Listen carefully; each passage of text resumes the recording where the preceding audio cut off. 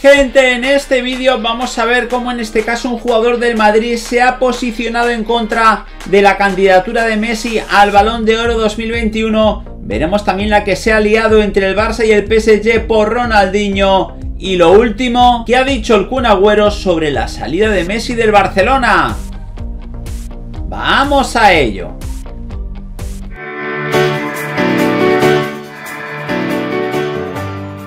Hola de nuevo gente, ¿cómo estáis? Bienvenidos a un nuevo vídeo de Objetivo Gol. Vamos a analizar la última hora de Leo Messi. Por tanto, te animamos a que te quedes hasta el final del vídeo, ya que nos dejes un buen like.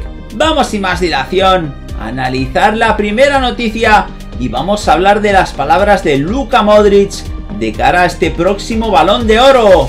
En el Real Madrid tienen claro quién debe ser el ganador del balón de oro, mientras que el debate habitual se encuentra entre Jorginho y Leo Messi. En la capital creen que debe ser para Benzema. El último en sumarse a la campaña ha sido Luka Modric, el centrocampista croata del Real Madrid y ganador de un balón de oro. En 2018 pidió el galardón de 2021 para su compañero Karim Benzema por cómo ha jugado este año y por su trayectoria. El centrocampista asegura que hay varios candidatos que pueden ganar el balón de oro este año.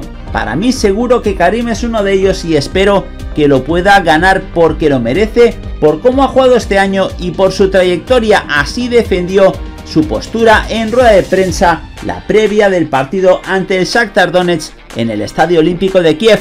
Modric resaltó los logros de Benzema para ser el ganador del premio, lo dijo así, por su juego de los últimos años, siempre estando en el nivel top y porque por fin ha ganado un título con Francia, que también es importante cuando votan para ganar este premio. Karim es seguro uno de los candidatos y ojalá lo gane porque lo merece, concluyó el jugador croata del Real Madrid.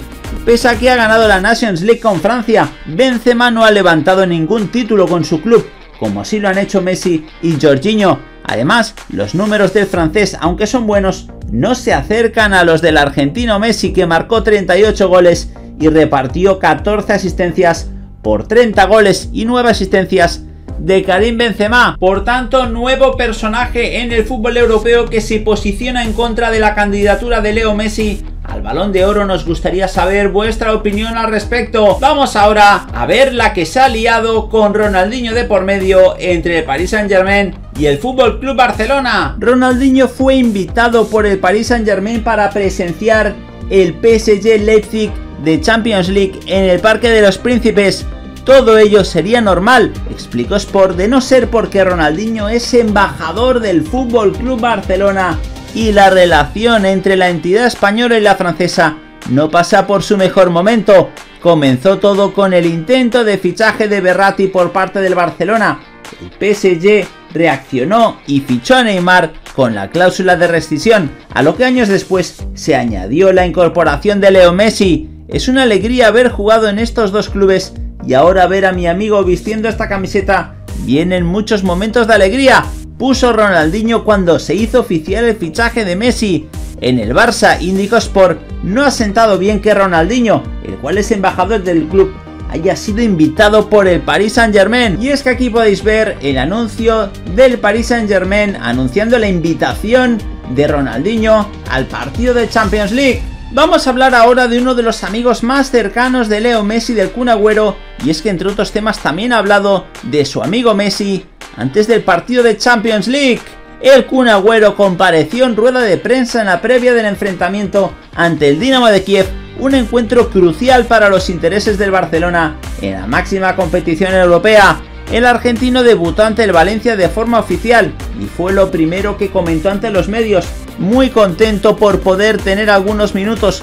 Lo más importante es que me sentí bien. Fue una linda noche, sobre todo porque se ganó. El Camp Nou impone mucho, ahora que estoy de este lado lo disfruto. Lo único que pensé es en ganar. Estoy muy agradecido por el recibimiento y el cariño. Ahora tengo que devolverlo en la cancha, añadió sobre su primer partido como azulgrana. El delantero es consciente de la importancia del encuentro en Liga de Campeones y así lo dejó claro. Tenemos que ganar sí o sí. Si no vencemos estamos casi fuera estamos con confianza. El domingo fue muy perfecto para estar bien el miércoles. La gente nos va a ayudar a sumar los tres puntos. Agüero mostró tener mucha paciencia sobre su papel en el Barça, especialmente de cara a portería y dijo el gol llegará solo, lo importante siempre es ganar, explicó a la vez que también dejó claro que no le obsesiona la titularidad, es decisión del técnico, hay buenos jugadores y hay que respetarlos, el puesto se gana estando bien físicamente y haciendo buenas cosas en los partidos. Nunca me puse cifras de goles, me acostumbré a ser segundo delantero. El objetivo es estar bien toda la temporada, marcar goles si puedo y ganar algún título. Añadió sobre su rol. El Kun también opinó, como hemos dicho, sobre la marcha de Leo Messi, íntimo amigo suyo que todavía vestía de azulgrana cuando llegó al Camp Nou. Ya es pasado, a todos nos cayó de sorpresa, pero prefiero pensar de aquí en adelante. Él está disfrutando, solo quiero que lo haga como siempre. En relación con la salida del astro argentino, el atacante también fue cuestionado por la elección de su dorsal como culé. El 19 ya lo usé antes, cuando llegué el 10 era de Messi. Piqué y otra gente del club me dijeron que cogiera el 10, pero yo ya había pedido el otro. Ese dorsal le queda muy bien a Ansu Fati. Tenemos que agradecer que lo tenemos de nuestro lado. Así lo añadió el delantero, que pasó a hablar de la joven promesa del Barça y dijo hay que ayudarle a que siga creciendo. Es uno de esos talentos que no salen a menudo, tenemos que aprovecharlo. Por último, Agüero también evitó emitir una opinión sobre la posibilidad de un mundial cada dos años, idea que ronda por el mundo del fútbol desde hace varias semanas.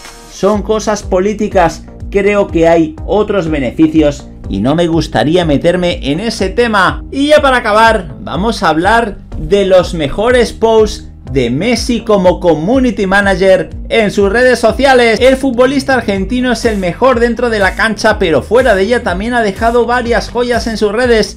Messi cuenta con muchas facetas y al parecer en todas quiere sobresalir. Como jugador es el mejor del mundo, mientras que como esposo, padre, hijo y compañero es un ejemplo a seguir y luego viene su versión como community manager de sus propias redes sociales, donde en más de una ocasión nos ha regalado una joya de publicación.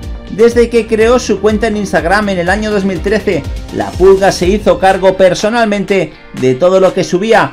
Algunos posts eran los más random del mundo y otros mostraban un poco la intimidad del futbolista. Después se rumoreó que formó un equipo de comunicación que profesionalizó más el perfil. Ahora parece que el astro argentino decidió retomar su faceta como CM, con posteos dignos del mejor jugador del planeta. Por esta razón, vamos a enseñarte sus mejores publicaciones. Aquí te mostramos una de las últimas que hizo cuando estaba convocado con Argentina. Por otro lado tenemos esta, donde muestra un juguete.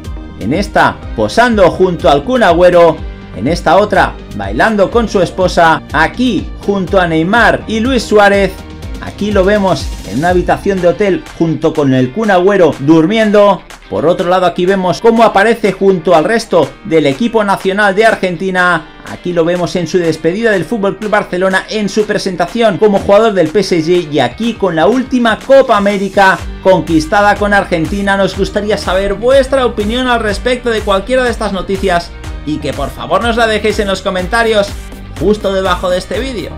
Nada más por el momento, como siempre animaros a que os suscribáis al canal para seguir viendo todos nuestros vídeos. Y aquí os dejamos este vídeo más que interesante para que sigáis disfrutando de todas las noticias del fútbol. ¡Hasta la próxima!